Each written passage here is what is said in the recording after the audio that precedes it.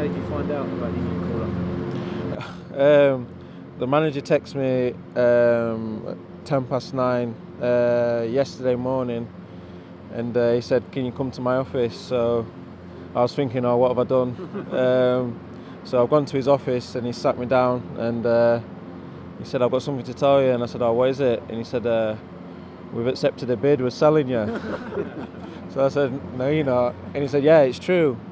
So then uh, one of the other coaches walked in and said, "Oh, have you told him uh, he's got to go?" So, but then after that, he told me that um, he was at the Milton Keynes game um, the night before against Man United, and he heard a rumor that I might have had a chance of um, being selected. And then later on last night, uh, the England manager called me and uh, he uh, verified it. He, he said that um, left back is one of England's strongest positions. Um, with obviously Leighton Baines.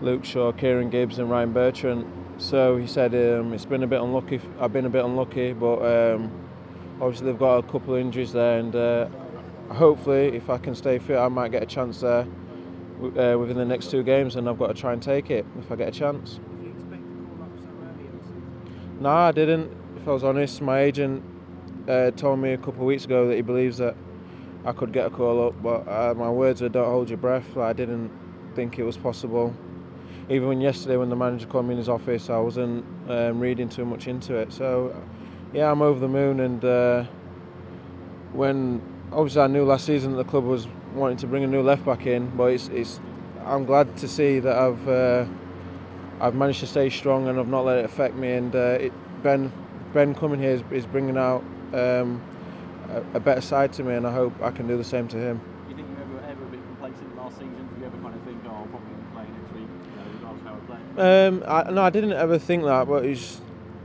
I started the season well. I, I thought last season under AVB, and then I got injured, and um, I never really managed to get match fit um, properly. And uh, even this season, um, our, our uh, nutritionist guy said that I've lost quite a bit of weight since last season, and uh, I didn't really realise, but I can feel it when, when I'm out there playing. I feel strong going into 70, 80 minutes, whereas last season I was uh, tiring.